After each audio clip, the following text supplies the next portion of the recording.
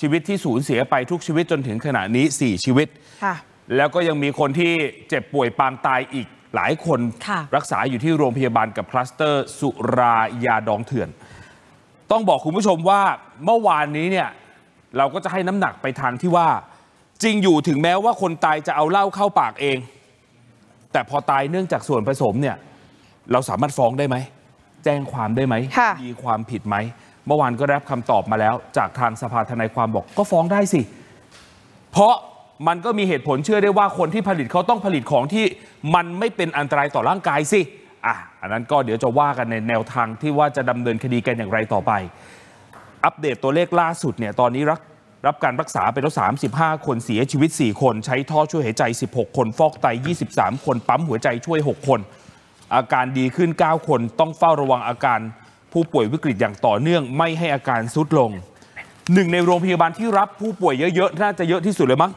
โรงพยาบาลนพรัตน์ราชธานี แล้วคนเสียชีวิตก็รายล่าสุดก็อยู่ที่โรงพยาบาลนี้ด้วยเนี่ยก็มีการแถลงข่าวบอกหลังจากพบผู้ป่วยที่มารักษา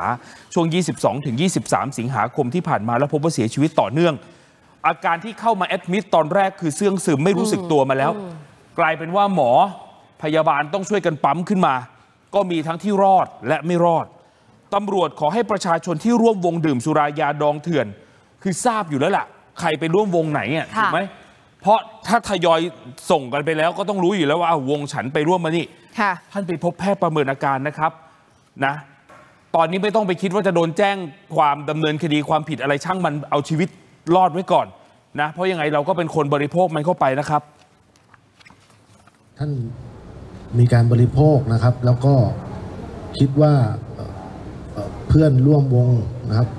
มีอาการและท่านยังแข็งแรงไม่มีอาการเนี่ยผมว่านะครับมาตรวจมาหาหมอดีกว่านะครับ เพราะว่ายังไม่ต้องไปเกรงกลัวความผิดนะครับ ท่านเป็นผู้บริโภคนะฮะ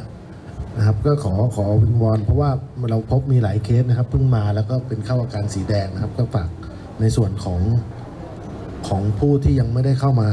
พบทางคุณหมอนะครับ